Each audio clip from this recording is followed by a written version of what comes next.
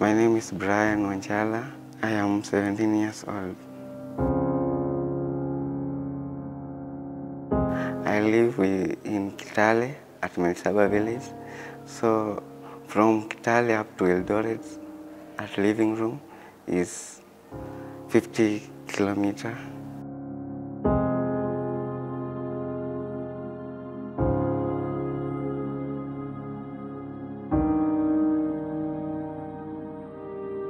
I love living room for bed, for food, for environment.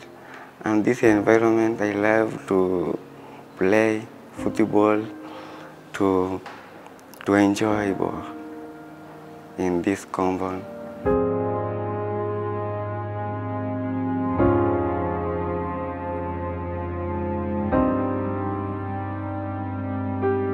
Thank you, living room.